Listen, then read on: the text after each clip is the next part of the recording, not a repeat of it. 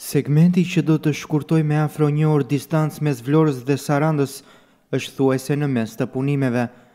Afro dyzet për qind e gërmimeve dhe mbushjeve të rrugës kanë përfunduar, ndërsa ka nisur puna edhe për katër urat e bypass-it të Vlorës. Puna në bypass-in e Vlorës, nyjës që pritet t'i japë zgjidhje trafikut të rënduar në qytetin bregdetar, siç u vu re këtë fundjavë, po vijon me ritme të larta.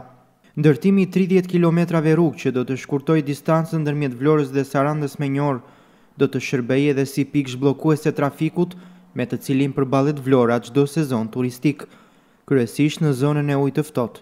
Aktualisht po punohet me gërmimet dhe ndërtimin e katër urave, si dhe në shumë pjesë të tjera të kësaj vepre.